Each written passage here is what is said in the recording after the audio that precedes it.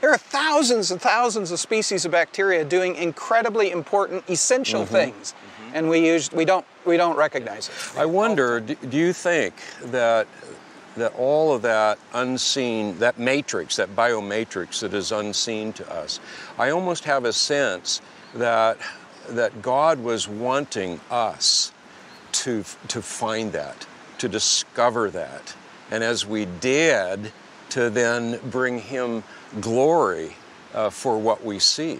Yeah, I think you're dead on. God created these things in the world for us to know Him. He created us with the ability to see them, to observe them. It's not likely that any other organism knows anything about these, these biomatrix organisms. No one else is going to appreciate it. But He gave us the ability to do so.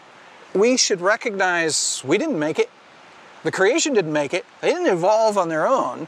They were specially designed in this incredible design Yeah. to show the very nature of God. That suggests they're part of that creation of God. He created us with the ability to find them, to recognize that it was made by God, and when we affirm that, we bring glory to God. That's what, therefore, he- we're here for. That's uh-huh. what we're supposed to be doing.